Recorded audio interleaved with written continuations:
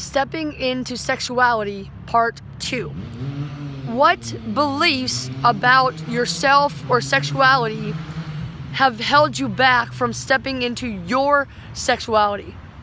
I want you to comment with that, okay? So I'll tell you mine, and if you just sum it all up, it was judgment from other people. You know, my problem is that I was overweight. I was very overweight, and I believe that fat, meaning body fat, fat is like layers of fear and um, insecurity. You know, it's things that you're holding back so it comes out in your body because you eat the food. Don't, I don't believe it. I know it, actually. I know a lot of people, they're holding back their feelings, their anger, their fear. They're holding back, like, once I let go of the rape completely, I never get, not just the rape, but the judgment of other people and the fear of what people will think of me. I have not gained more than like 60 pounds back. Well, actually, since I, I lost like 60 pounds, I've gotten through more layers of fear of judgment and things, right? So it was I had problems in the past, you know, drugs, alcohol, cigarettes, sex before marriage. I was, you know, relying on, uh, basically relying on things other than myself and God and me to um, validate me, you know, to make me feel good. And it, and you know what's funny is the irony of it all is it all made me feel worse. The food, then gaining weight, or just feeling sick, and eventually getting cancer because of all the food, the drugs, the alcohol, the pills for anxiety and so-called mental illness, and all those things. Uh, all of those things end up making me the boyfriends that beat me because I was having sex with them and they didn't like themselves. So that all that stuff ended up and culminated in me having cancer, sleeping outdoors, getting my master's degree, but all the good things, quitting drugs, quitting alcohol, quitting cigarettes, and once you peel all the layers back, you realize what the truth really is and who you really are. And the more I, you know, things I quit, the more proud I am of myself and the more I realize who I really am. And then I can start to, instead of just deconstructing constructing things like blowing things up with the bomb, boom, getting rid of it. Now I'm constructing things, you know. So now I see who I really am. So the judging, you know, I have I've had body shaming issues all my life. When I was when I had cancer, they said I was small and skinny and weak and too small.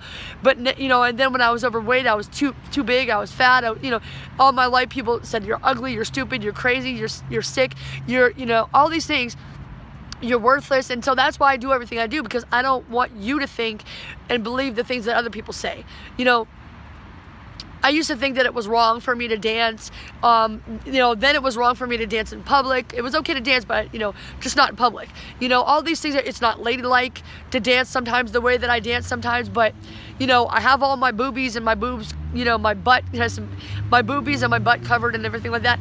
And you know what? Even if I didn't, I'm pretty sure, you know, it wouldn't matter as long as I had the good intentions. Although at the same time, I don't know how somebody can have all their body parts out like that and say that they are not having sex or that they don't want it. But, you know, you can. I'm sure you can. You know, I'm sure you can do it.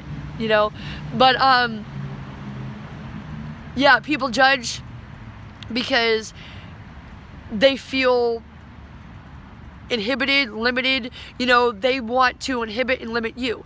And because they've been told that they're worthless and they're they're not allowed to dance like that because they're not a lady. They're not allowed to walk like that. They're not allowed to talk like that. They're not allowed to be on video on YouTube or whatever. They're not they shouldn't do those things because ladies don't do that or, or whatever. You know, um, society holds us back. They have these uh, uh, expectations, you know, and their fear. Really, what it is is they're afraid. They're afraid to do things, and then when they see other people doing them that and that they want to do, they talk crap on somebody instead of actually doing it themselves. You know, and so because fear is the opposite of love. Now, let me tell you something. Fear is the opposite of love. Okay, First John four eighteen says, uh, "God is love." So perfect love casts out all fear, and God is love. So don't have fear because fear is from the devil.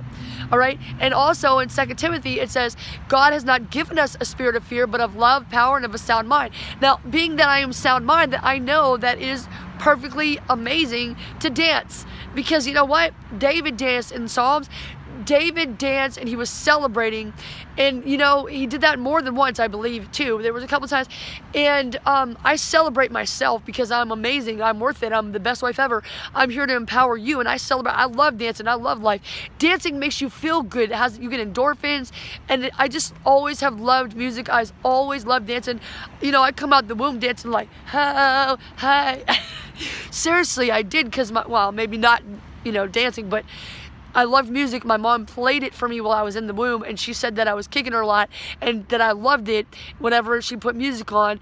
And she said the louder, the better, you know? So I was like, okay, that's my mom, right? You know, so it's like, yeah, we have these limiting beliefs, but, you know, a lot of people it's funny how a lot of people say that they're Christians, Catholic, or whatever, but they fail to either read the Bible or just don't practice it because judge not lest ye be judged, right? And and my grandma used to always say that people that accuse you of things are doing those things themselves. Now, first of all, that is a psychological principle everybody knows about mirroring, right? If you don't, look it up.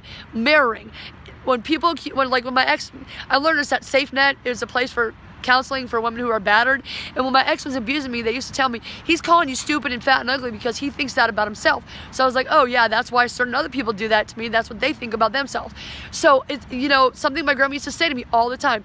People often accuse you of what they're guilty of themselves. And so because of that, it's also in the Bible. I'm going to read you this verse. Ye therefore have no excuse who pass judgment on someone else. For whatever point you judge another, you are condemning yourself because you who pass judgment do the same things.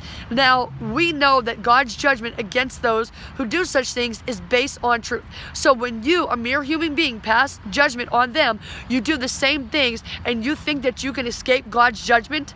Now, I'm going to put that verse below. Look, so I got to do this. I don't care about my nose running. I got to do this. I'm, I'm on a roll. You know, people judge you and they say things about you because they're doing those things themselves. And because they're, like, for example, if I'm dancing and somebody calls me a whore, that's what they believe about themselves. You see? So don't believe it, number one. Don't put them down because talking bad to somebody else, the power of life and death is in the tongue, and you can make somebody else feel worthy by the words that you say. So, what I believe about myself is not just what I believe, it's the truth. I know it. I know I'm amazing. I know I'm gorgeous. I know I'm a genius. I know that I am infinite in value, and so are you, and that's why I tell you that. That's I know I can do anything I want to do, not because the Bible says it, yes, because of that, but because I started believing and started doing it. So, I'm here to show you and empower you by example. And one more note I want to remind you of is that Eleanor Roosevelt, Eleanor Roosevelt said, small mind, wait, let me go back. Great minds discuss ideas, mediocre minds discuss events, and small minds discuss people. So which kind of a person do you want to be? A great mind, a mediocre mind, or small mind? Okay? Comment below and let me know the number one thing you got out of this video. Or you can also comment and tell me how you found my channel, what's your name,